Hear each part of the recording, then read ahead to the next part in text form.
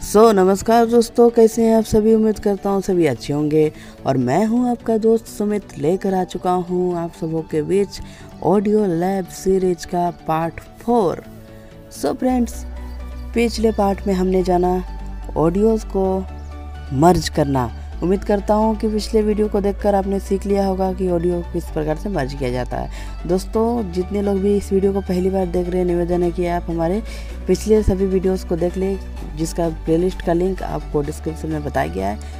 इससे पिछले पार्ट में आपको बताया हो गया है, ऑडियो को ट्रिम करना, मिक्स करना और मर्ज करना।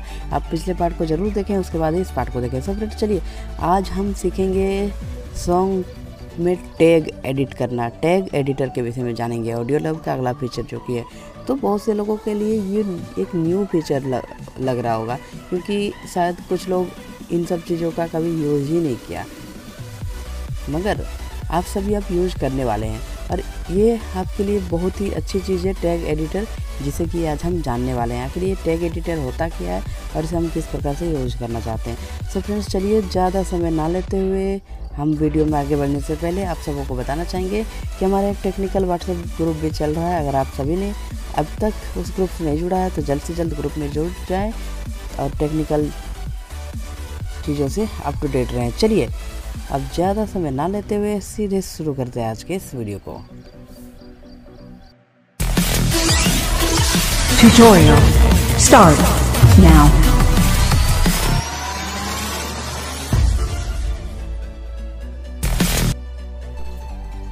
So friends, tag editor.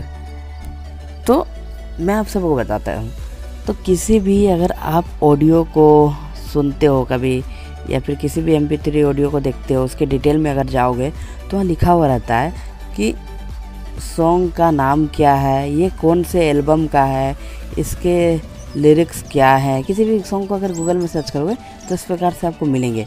इस सॉन्ग के लिरिक्स क्या है और इस सॉन्ग ये सॉन्ग रिलीज़ कब हुआ, किया गया है? इस सॉन्ग के की क्या है? मतलब कौन से स्केल से ये सॉन्ग है? और इसके अलावा इसके कंपोजर कौन? मतलब ये इतने सारे पूरे डिटेल वगैरह लगा हुआ रहता है सॉन्ग में। अगर आप सॉन्ग को सर्च करोगे तो मिल जाएगा। और कभी ना कभी इस प्रकार से आपने देखा भी होगा। तो बस यही सेम चीज़ें टैग एडिटर हो सकता है कि अभी ये आपके यूज़ में ना आए, लेकिन भविष्य में ज़रूर कभी ना कभी अगर आप म्यूज़िक से जुड़े हुए रहते हो तो कभी ना कभी आपको ये ज़रूरत पड़ेगा। भविष्य में कभी कभी कभी ना कभी आवश्यकता पड़ेगी। तो आज हम जानेंगे सॉन्ग टैग एडिटर के विषय में। किसी भी सॉन्ग में, चलिए। अगला बटन मर्ज ऑडियो को पिछले वीडियो में हमने सीखा। तो अब हम देखेंगे टैग एडिटर इस पर क्लिक करते हैं। देखिए इस पर क्लिक करने के बाद वही सेम प्रोसेस आपको अपनाना है। अगर आपका कोई खुद का सॉन्ग है या फिर आपका कोई खुद का कंटेंट है, उस पर आप टैग्स लगा सकते हैं। उस सॉन्ग में अपना फ़ोटो लगा सकते हैं। उस सॉन्ग में आप अपने सॉन्ग का नाम लिख सकते हैं एल्बम का नाम लिख सकते हैं। कब आपके द्वारा रिलीज़ किया गया वो लिख सकते हैं। और और भी बहुत कुछ कर सकते हैं। चलिए फिर।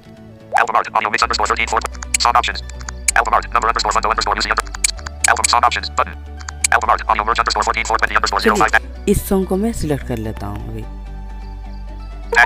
आपको इस सॉन्ग को सिलेक्ट कर लेना था। इस प्रकार से सॉन्ग को सिलेक्ट किया। इसे करने के बाद देखिए कि ऐसा कितने सारे यहाँ ऑप्शन आ रहे हैं।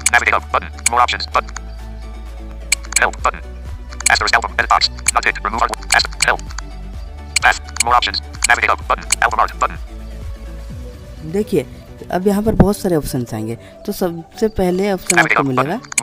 ये मोर ऑप्शन या हेल्प. देखिए. यहाँ एडिट बॉक्स है। यहाँ पर आपको एल्बम का नाम लिखना है। अगर आपका सॉन्ग ये कोई किसी एल्बम से है एल्बम मतलब एक साथ बहुत सारे सॉन्ग को आप करना चाहते हो रखना चाहते हो तो एल्बम बनाना चाहते हो तो एल्बम का नाम यहाँ आप लिख सकते हो। तो मैं आपको कर कर नहीं बताऊँगा मतलब कहाँ क्या करना है मैं आपको ज़रूर इतना बता देता हूँ. और यहाँ पर पिक्चर यहाँ पर आप पिक्चर लगा सकते हो. और यहाँ टिक डिफ़ॉल्ट अगर आप पिक्चर नहीं लगाओगे तो ये डिफ़ॉल्ट में ही रहेगा। मतलब डिफ़ॉल्ट एक इमेज जो सिलेक्टेड है सॉन्ग के ऊपर ऑडियो के ऊपर वही रहेगा। यहाँ से आप चाहो. तो अलग पिक्चर लगा सकते हो अपने सॉन्ग के ऊपर कोई फ़ोटो लगा सकते हो। देखिए यहाँ पर आप इमेज को क्रॉप करके कर लगा सकते हो तो आप सबको मालूम होगा।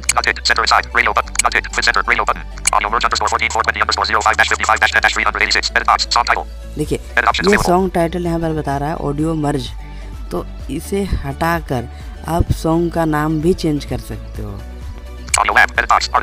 देखिए इसके आर्टिस्ट यहाँ ऑडियो लैब है। तो यहाँ पर आप इसे हटाकर अपने आर्टिस्ट का नाम भी लिख सकते हो। इस पर क्लिक करोगे एडिट बॉक्स खोल जाएगा आप लिख सकते हो.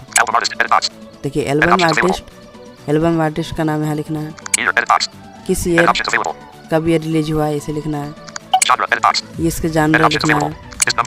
डिस्क नंबर अगर है तो वो लिखना है। ट्रैक नंबर लिखना है.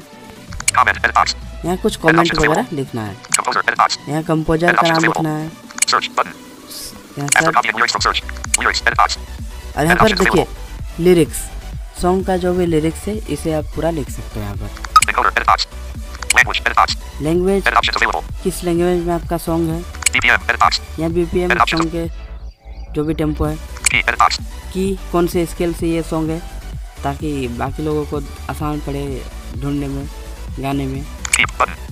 Save button. देखिए, इतना कुछ करने के बाद ये सेव का बटन है, इस पर क्लिक करोगे, फिर से आपका सेव का बटन मिलेगा, उस पर क्लिक करोगे, फिर आपका सॉन्ग सेव हो जाएगा चलिए, वीडियो को ज़्यादा लंबा नहीं करता हूँ, क्योंकि ये बहुत ही ईजी है और उम्मीद करता हूँ कि आपको ये समझ में आ भी गया होगा तो इस प्रकार से आपका अगर खुद का कोई कंटेंट है तो उस पर आप अपने सॉन्ग का नाम अब सॉन्ग को अगर आप जब भी रिलीज़ की हो जब भी आप खुद से तैयार किए हो उस, उसके ईयर को लिख सकते हो और भी track number album number song के लिरिक्स ये सबको लिख सकते हो और कहीं भी पब्लिश कर सकते हो। तो इस चीज़ के लिए सॉन्ग एडिटर यूज़ में आता है। तो कभी ना कभी इसकी आवश्यकता आप सबों को ज़रूर पड़ेगी। तो चलिए खैर इस वीडियो को अब यहीं समाप्त करते हैं। अब दीजिए मुझे इजाज़त। फिर से मिलते हैं अगले दिन ऑडियो लैब सीरीज़ के पार्ट फाइव को लेकर।